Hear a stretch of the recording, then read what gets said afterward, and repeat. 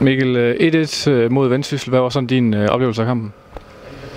Ja, men en, øh, en god kamp i, øh, i store perioder.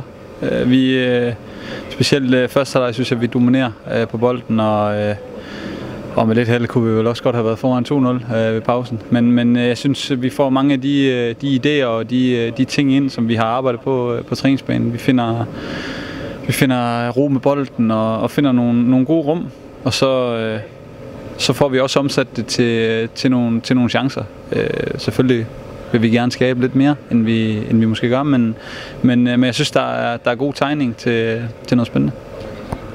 Der er nye øh, ting, der sker mange nye ting, kan man sige. Øh, hvor, hvor tæt tror du, de her to kampe har, er vi kommet på, på det VFF-hold, som, som nye træner han gerne vil se? Jo, men Jakob står jo derinde og roser os øh, for de ting, vi gør. Øh, så, øh, så vi arbejder stille og roligt hen imod øh, mod de ting. Øh, vi bliver, føler, vi bliver, vi bliver bedre og bedre.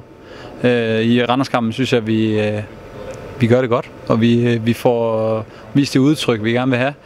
Øh, selvfølgelig er der nogle ting, som halter, men, men i dag får vi måske i længere perioder øh, vise de ting, som, øh, som vi gerne vil.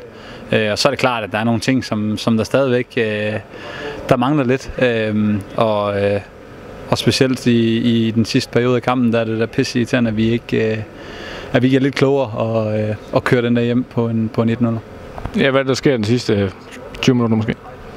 Ja, vi begynder at, at, at stresse lidt og, øh, og gøre nogle af de ting, som vi helst ikke vil gøre. Øh, når man spiller sådan et sted, havde vi spillet en kamp på udebane i, i ligaen mod, mod Vendsyssel, der førte 1-0, jamen, øh, øh, så skal vi være klogere. Så skal vi, øh, skal vi simpelthen øh, spille med, med hovedet i stedet for med hjertet, som Jakob siger. Øh, vi, øh, vi arbejder alt det, vi skal, og alt det, vi kan, men, men vi, skal, vi, skal tænke, øh, vi skal tænke lidt klogere i situationer, og, og i stedet for måske at, at, at skal spille den op bagfra, jamen, så er det måske en fordel lige at, at, at tage ro i bolden, og så, så lægge den op, og så, så tage den derfra. Det var kampen i dag. Hvis vi kigger sådan lidt mere generelt på, på opstarten, øh, hvordan, øh, hvad, hvad har din oplevelse været indtil videre?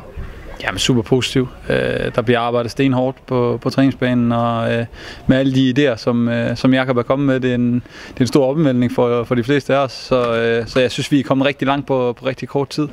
Øh, nu har vi stadigvæk øh, to uger endnu, og øh, det, bliver, det bliver fedt at, øh, at komme ud og træne øh, to uger mere og få, få en, en træningskamp mere, inden det, inden det bryder løs.